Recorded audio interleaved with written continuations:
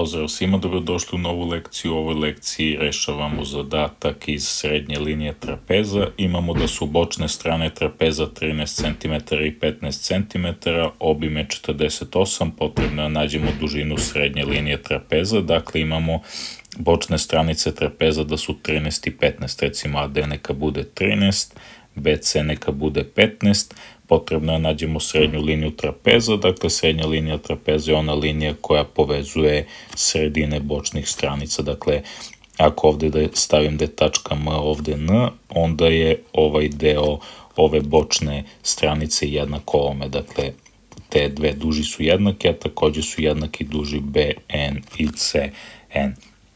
Potrebno je da nađemo srednju liniju trapeza koja se obeležava sa malim slovom M. Dakle, ta srednja linija trapeza će se dobiti tako kada nađemo koliko centimetara ima duža osnovica AB koju obeležavamo sa malim slovom A i koliko ima kraća koju obeležavamo sa malim slovom B. Dakle, sabiramo dužinu duže i kraće osnovice trapeza i to delimo sa 2.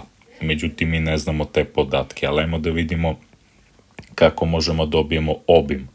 Obim ovog trapeza ćemo dobiti tako što saberemo dužine svih ovih stranica, dakle A plus B plus C plus D, pri čemu možemo da kažemo da je ova stranica BC malo C, a ova stranica ADD malo D. Obim znamo da je 48 cm iz teksta zadatka, a ne znamo koliko je B, ne znamo koliko je C, imamo da je 15, na osnovu teksta zadatka. Imamo i D, da je 13 na osnovu teksta zadatka, odnosno 48 će biti jednako A plus B plus 15 plus 13, to je 28.